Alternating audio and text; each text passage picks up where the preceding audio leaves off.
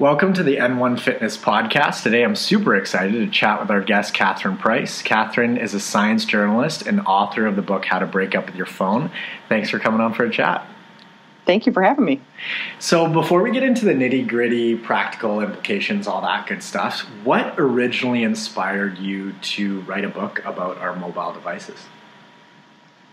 I think the short answer is I started to become more aware of my own use of my device, in particular around my then newborn baby, where I noticed an increasing number of times where I would find her looking at me and I was looking down at my phone, and that that made me feel very bad as a hmm. person, and not just in terms of the effect it might have on her as a baby, but also on the effect it was having, or about the effect it was having on my experience as a person and mother. That I wanted to be present in this moment, and instead I was looking through eBay for things like antique doorknobs, which is not really a useful use of your time, regardless of what life stage you're in.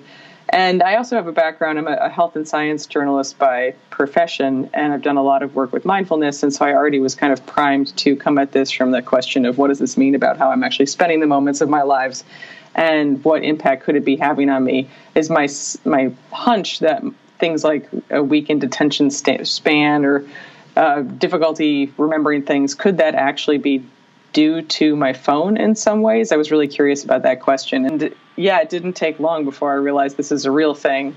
And it's not just me, it's not just my husband who are dealing with it, it's everybody. It's just that we haven't really started talking about it yet.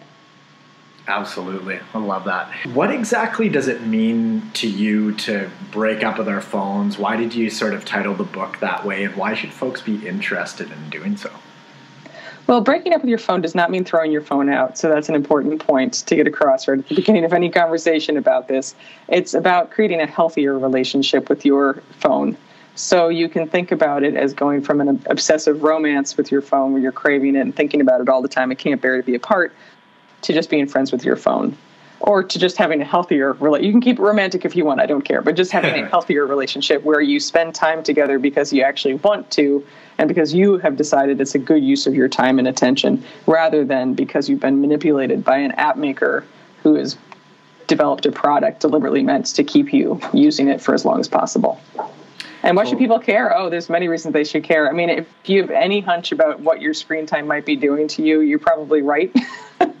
there probably actually is something behind it. It's not all in your head. What I discovered in my research is that our phones really are having effects on a wide range of, of parts of our daily lives, from our emotional health and our relationships to our memories and ability to focus, um, definitely attention spans, and sleep, which it's on its own is a huge, huge problem.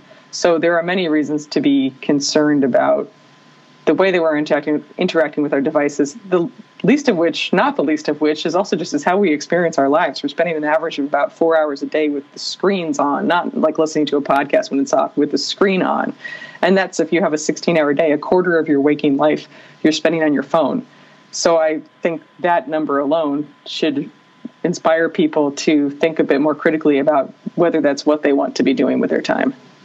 Yeah, I heard a stat recently that the average person checks their phone or looks at their phone 200 plus times per day, which is mind boggling when you think about it. And then I guess that translates into four hours of screen time. Is that an average or how does that look?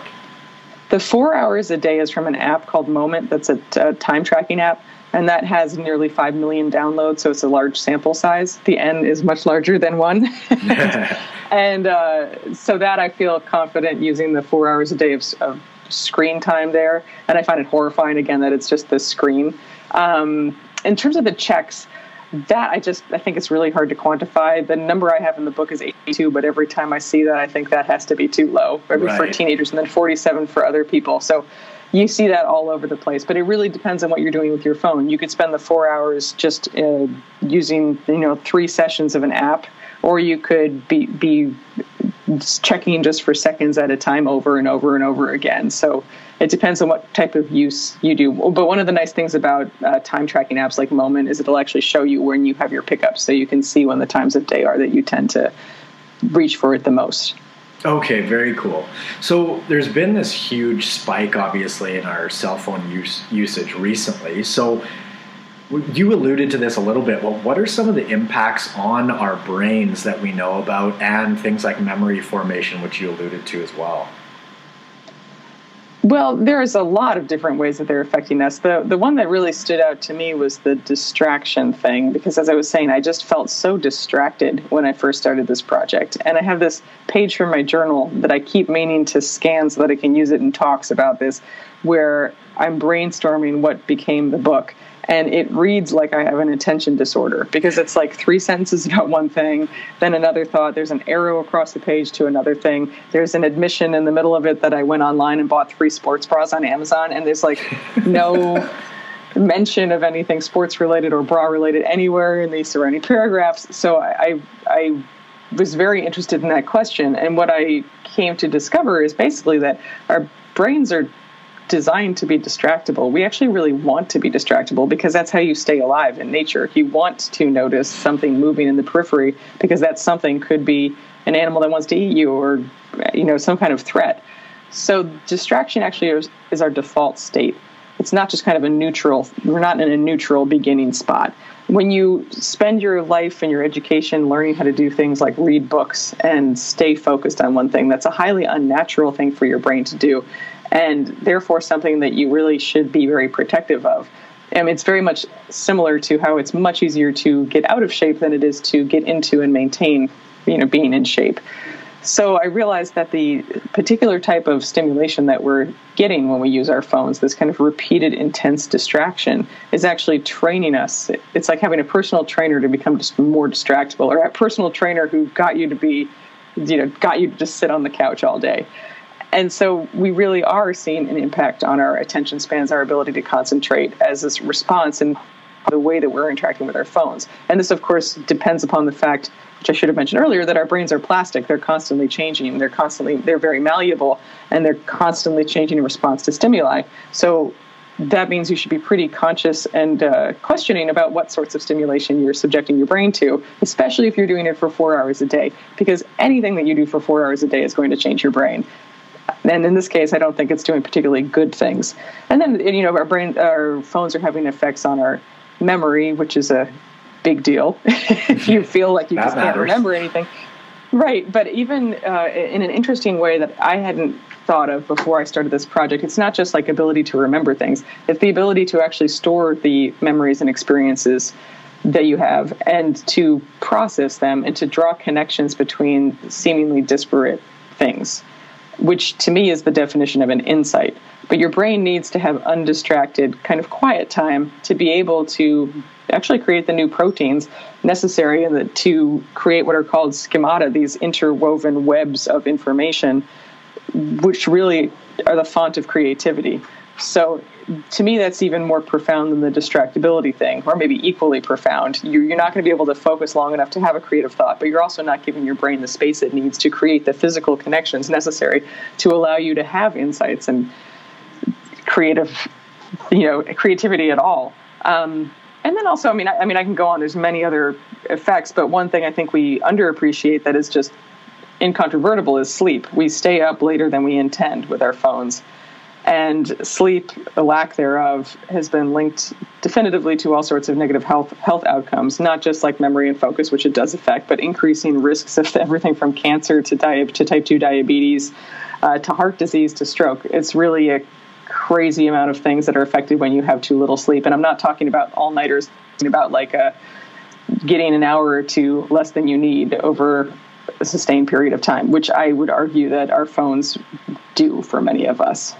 Absolutely. I'm super passionate about the sleep piece, and I think I've had three or four episodes of my podcast and like 30 just des- just um, designated to sleep itself. And so it's so, so important, and it's tough to separate all that out as far as you know how the phone is impacting sleep itself, but then stimulating us to keep us awake, and then how you know just the downstream effects of it are, are massive massive. Well, it's interesting to me. Yeah, I just read uh, Why We Sleep by Matthew Walker, so I'm also particularly yeah. in a sleep mode right now, and I also really like sleep. But uh, it's interesting in terms of the conversations I have about phones, in that a lot of people will say, well, where are the brain scans showing how our brains have changed as a response to using the phone so much? And of course, in many cases, those don't, don't, don't exist because no one thought to have a controlled group of people who never had a smartphone and then track them over time. You don't have a control group. We're all part of this massive ex- experiment.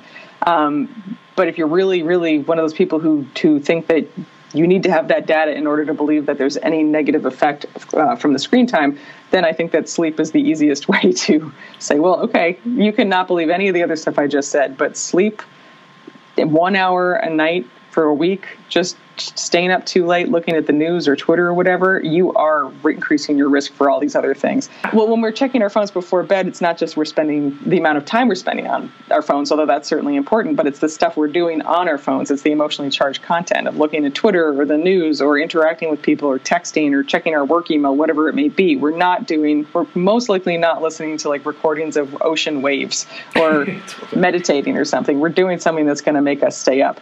And then worse or equally bad is that we are often in many it, then being woken up in the middle of the night with notifications or go to the bathroom and then just check one thing on your phone and that gets you out of the very important i mean all stages of sleep are important but it's pulling you out of whatever stage that you're in and then de- degrading the quality of your sleep in that way as well. So all around i mean the sleep stuff is very important i think under acknowledged I totally agree. And now these these phone and app companies are super well educated in evolutionary biology and essentially what makes us tick. So they have us coming back for more and more by hitting those dopamine triggers in the brain. What are your thoughts on phone addiction and how would you say that it's classified? Well, if you define addiction as continuing to engage in a behavior even after you know that it is causing harm, then I firmly believe we are addicted to our phones, and I've spoken with numerous uh, psychiatrists dealing with addictions who kind of laugh that that's even a question. So I think we definitely are, and the reason is, as you're saying, is that our dopamine systems are being manipulated by app designers and phone designers to get us to use their products for as much time as possible because their incentive their incentives are very different from the user's incentives. And I'm not saying that phones and apps are bad at all. I mean, I certainly am not getting rid of my phone, and I think that they're genuine. Imp- they're amazing. They make life easier, and they bring us together in ways. I mean, we're doing this interview, I guess, with a, some technological issues, but we're able to see each other from afar, right? right? And, it's, and it's truly amazing. But we have to be aware that the incentives might not, not always line up. Basically, our brains are very vulnerable to being hacked by anyone who knows how to trigger the release of dopamine. And dopamine is a neurotransmitter that tells us when something is worth doing again. So if you find a berry on a bush and then you eat it and it doesn't kill you and it tastes good, you'll have a little bit of dopamine released that helps you remember where that bush is and also reminds you that eating that berry was a good thing to do. So you can see why it's very evolutionarily important and essential it's released in response to yeah, food and sex. But what starts out as a habit can then also cross the line to an addiction. And you can also design products that are deliberately uh, designed to have triggers for dopamine to get users to engage with them in ways that they that may not actually be beneficial to them. And phones are a perfect example of this, as are slot machines. So if you think about some of the triggers for dopamine, bright colors, the contrast in colors, the you know the bright berry against the green leaf. It's not a coincidence that the little badge on your phone that says how many emails you have is going to be bright red and contrast against the background. The sa- the ability to make things happen, we really like that. We really like um, unpredictability is a strange one to be so attracted to, but that's one of the things that drives us the most crazy is not being able to predict what's going to happen and to have novelty. And those are two things, probably the most powerful ones that are baked into phone and app designs. You always find something waiting for you when you check your phone. It may be completely trivial and not worth your time or attention. But the fact that it's new and the fact that you didn't know it was coming is enough to trigger that dopamine. And once that happens, once you get this cycle established, it becomes very difficult to not be tempted to pick up your phone, even when you just see it lying on a table, because your brain associates that phone with some sort of reward. And when you have a notification thrown in, that gets even worse. Then we become like Pavlov's dogs, you know, the Russian scientist who trained his dogs to drool when he, they heard a bell because he fed them food every time you rang a bell, and over time, they drool just with the bell. We're doing the same thing with notifications, where if you hear a notification go off or you feel that vibration in your pocket, chances are you're going to check it. And if you don't check it, you're probably not going to be paying attention, full attention to what you previously were doing, because part of your brain has been so conditioned to want to check, to think there's a reward waiting for you that it will just keep thinking about it until you check. So there's really a lot of ways that you can manipulate our brain chemistry to get us to behave in ways that are not actually that good for us. Yeah, wow, that was a, a, beautiful explanation. Now, you're a mother, so how do you navigate this tech use with your family, and what are some of the biggest shifts that you've implemented? Like, does does your child have a phone? Um, how old are they? Like, how, how are you navigating this stuff? She's three and a half, so I'm happy to oh, okay. she does not have a phone. Fair enough. Um, yeah, and I only have one kid. Uh, I feel very strongly about it, though. I feel very strongly that exposing children to screens and, in particular, phones is not a good idea, especially when they're little. And I should take a step back and say that I know that I might sound alarmist in saying that, and it's important to acknowledge that humans have always freaked out about new technologies and thought it was going to destroy humanity, and that has never happened. So, radio, TV, uh, the internet. Actually, there was a really fascinating kaleidoscope craze in uh, England in the early 1800s where people were terrified that kaleidoscopes were going to lead to the downfall of civilization. That did not happen either. But with that said, there are, are, ways that our phones are truly different that I think are important to point out. And one is that we have them with us at all times. You wouldn't go onto an elevator carrying your desktop computer um, or a television set in the way that you do your phone. And then also, very importantly, our phones actually interact with us. None of these previous technologies had the ability to reach out and interrupt what we were doing and hijack our attention in the way that phones do. And as one of the leading advocates in this space, Tristan Harris from the Center for Humane Technology, likes to point out, your landline telephone didn't have hundreds or thousands of engineers on the other t- other were able to track what you were doing on that phone and then manipulate the phone itself so that it could interrupt you and steal more of your attention that just didn't happen. So, with that said, that's why I am particularly concerned about phones and kids. And for my own daughter, what that means is that my husband and I do our best to not be on our phones around her. Uh, when we, we, we use it primarily for FaceTime with her grandparents if we're going to do anything with her. We don't. There's no like games or video watching on the phone. And I think it's a good practice both for her and also for us as parents because it really forces us to be present with what we're doing with her. And sometimes that's really boring. Um, or just like not that fun. I'd kind of rather be just getting a little dopamine hit by looking at the headlines or whatever. Um, but it's a good reminder that ultimately I, I don't want to be just chasing dopamine all the time. I want to be having meaningful experiences. And the other thing I'd like to point out to parents is that they're really, uh, well, two things. If you get wait, let me back up. As adults, we know that reading a book is worthwhile, that you can get something out of reading symbols off of a page. It may be really, really hard to do, but there's a wonder to it. If you're a kid, you don't really know that yet. So if you present a child with the option to just watch a video or read a book, I mean, it makes sense to want to watch the video. That's a lot more fun. So TV is is easier than reading a book, and if you don't yet know that reading a book has any positive characteristics, you could be forgiven for wanting to default to TV. And then also, just as a different aspect of it that I think is really important is just behavior um, and the ability to be patient and bored. And the fact that there really is something different about interacting with the screen. And I'm thinking of several, this is just an anecdote, several anecdotes, but I remember seeing a woman in line for lunch and her son, who was pretty small, maybe like two, was looking at a phone very contentedly in the stroller. And I thought, oh boy, when she tries to take that away, that's going to be interesting to see what happens. And she did because she was using the phone to pay. And this previously totally docile child, like, became an animal. He started screaming and kicking and hitting her. And that's not an isolated incident. There really is something about removing this stimulation, again, this goes to the question of are we addicted to our devices that really can trigger behaviors that you would not see in other contexts. And I think that's something we should be aware of as parents. again, there's many positive uses of technology, but there's also potential downsides. They're not innocuous. And up to this point, I think many of us have assumed that technology is beneficial at best and innocuous at worst. And we should be more, it's kind of like dietary supplements, actually. We kind of assume there's no downside. Right but anything that's going to impact your brain in one way or your body in one way has the potential to do it in another way too.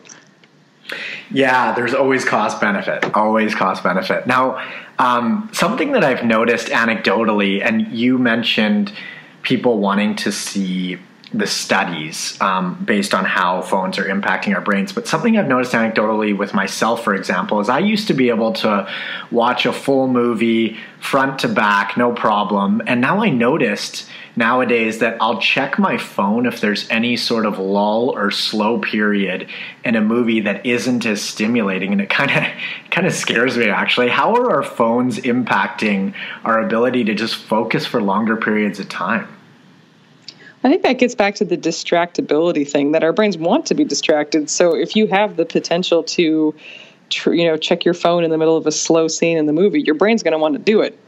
When you do that, and you will find some, you'll find something waiting for you on the phone. Again, it might be trivial, but you'll find something. It reinforces that habit. So it's just allowing us to kind of indulge in our brain's worst instincts in a way. And you're certainly not alone. I mean, plenty of people have told me they have the same issue with can't deal with it like let alone a commercial break if those still exist but like a slow moment. You're watching two screens at once you're checking your email and you're trying to look at the television. So it's it's really tricky. Right right. Now touching on some of the tools that you suggest um, something like the physical prompt. You you talk a little bit about using a rubber band as a tool with your phone. Can you tell us a little bit more about that yeah, so one of the key things for behavior change is just awareness. It's a noticing that you're doing something because if you don't even notice it, how are you possibly going to change it? And with our phones, it's such an automatic behavior that it can really help to create some kind of interruption that makes us realize what we're doing. And so putting a rubber band on your phone is just a very low tech solution or idea for that. If you put a rubber band on your phone and you go to reach for your phone, your brain will be like, why is there a rubber band around my phone? right. You know, eventually that will wear off, but for the first couple times, you'll be like, oh, right, it's because I wanted to ask myself if I really want to use my phone right now. And I call that a speed bump, you know, a small obstacle that gets you to slow down to, to ensure that whatever you do next is by choice. You can also do that by changing your lock screen image. And I have some free images people can download at uh, phonebreakup.com, which is the book's website, that say things like, What do you want to pay attention to? or Do you really want to pick me up right now? So just little things that snap us out of our automatic habits so that we can decide if that's actually a habit we want to pursue in that moment. I love that. Now, as far as some really simple things that folks can implement, you know, right now if they wanted to, how do you recommend that folks sort of you know maybe delete some apps or disable notifications like how, how do you think that people should go about that if if they want to move in this direction well first you do need to have a bit of a philosophical soul searching moment of asking yourself why you want to make the changes just as a broader sense because if you don't know why if you're just like I need to use my phone less, which I hear from a lot of people. I need to spend less time on my phone. And it's like, well, why? Why do you need to do that? Because if you don't know why, then you're not going to do it so first you need to say figure out what it's what it is getting in the way of. Maybe you want to be exercising more or you want to be spending more time with friends or you want to sleep better whatever it may be. And then you actually have a reason that you want to spend less time on the phone. And i would go further and say that you should try to figure out what apps are causing you problems and really focus on those first. Um, but the two things that you just mentioned the notifications and just deleting stuff I highly recommend turning off as many notifications as you can to start. Those are there for the app makers, not for you. And anytime you allow a notification, you're basically allowing the phone to hijack your attention anytime there's a notification. So you should be very protective over when that's allowed. And for me, I leave the phone calls on and I leave text messages on because those are real people that I know trying to get in touch with real time and then I leave the calendar on because that helps me not forget things. Although, right, but I don't want to have. I don't even have email on my phone because I found that to be very distracting. I don't want news alerts. That's horrible, horrible, horrible. So I mean, I really would just turn off everything. And then if you want, if you find that you're missing something, you can always re-enable that notification. But you're doing that because you want it, not because someone else put it there. So that's one thing. And then the other thing is just in general to come at this from the standpoint of thinking you want to make it easier to do the behaviors you want to be doing and harder to do the things you're trying to change. And once you start thinking about it that way, you can redesign your phone's home screen and your apps your app selection uh, along those lines. So your your home screen should only have tools on it, by which I mean things have that have practical value or that support some habit that you're trying to uh, get into more. For example, Google Maps, you're probably not going to get sucked into Google Maps for 30 minutes. Probably not going to get sucked into Uber or your calendar, right? So on my home screen, I've got those things. I've got, and then I also have things for um, behaviors I want to be doing more of. Like I have a meditation app and I have a guitar tuning app and a sign up for um, cross training classes at the gym. So I, I make it easier when I open my phone to get sucked into an activity that's actually beneficial but on the same note, then I then I deleted all these other things that I knew were problems for me. I don't personally have that much of a problem with social media, but for many people that's a big issue, and I recommend deleting those apps and just checking from the internet browser version, which normally sucks um, mm-hmm. and just seeing what it feels like. You can always put it back on, but make it inconvenient. For me, um, email was the big problem, and then the news. So I took the news app off my phone, and I took email off my phone. And I've actually like done so many things. I don't think I actually could ever get email back on my phone, which is occasionally problematic. Um, but point being, I now can't do those things, and I can tell it's working because sometimes I'll open up my phone and I my brain just wants to check something. And I think that's really interesting because I've been thinking about this for more than three years, and I still, you know, my brain is still a human brain. I will open my phone occasionally and feel myself want, and I can feel my brain looking at those selection of apps and being like, Uber, nope, weather, nope. Like, oh, there's nothing to get sucked into. Um, but I think that's that's a, a sign that it's working because then I first of all, I'm aware of what I'm doing. And second, I'm like, okay, nothing to check here. Stop it, Catherine. You don't want to be doing this. That's so interesting you bring that up because I've had that same experience where I'll siphon through, you know, every, just look at every little thing on my phone. And it might even be the notes um, in my phone where I've put something. And then I'm like, okay, what am I really doing here? And I guess it is my brain just sort of searching for something to be stimulated by.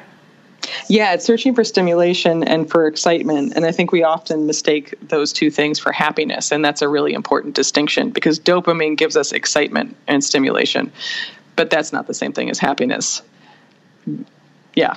totally, totally. Now, I think that a, a lot of folks sort of set themselves up, and you alluded to this, but set themselves up from the beginning of the day to almost I guess, just use their phones more or fail around their phones because they use their phone as their alarm clock. And then when they pick it up, they turn it off. It's literally in their hands. And it's a lot tougher to resist at that point. So, how do you recommend folks sort of start their day and set themselves up for success from the very beginning, from when they wake up each uh, each and every day? Well, the short answer is don't use your phone as your alarm clock. Sure. Yeah. Yeah. but the um, but the the bigger point is that it's actually exactly the same idea we were just talking about in terms of your phone and its apps. It's redesigning your environment to support the habits you want to be engaging in. So we just talked about how to do that on the phone, but your environment off your phone you should put thought into as well so first get rid of the do not use your phone as an alarm clock. Get a standalone alarm clock. You can get one for like two dollars. You might even have one already. But as you were pointing out you're guaranteeing that the phone will be the first thing you touch in the morning if it is your alarm clock. And once you think about it that way you'll start to realize oh wait that that could be a very easy i mean i'm a hack if you will that actually can have a big impact is just don't don't use it as your alarm clock. But i think what often we forget is that you need to replace we're talking about triggers essentially right? Like triggers for habits. If you remove a, a, negative trigger like getting that phone out of your bedroom you need to make sure to put a positive trigger in because if you don't you're just going to go right back to the the habitual behavior because it's easier.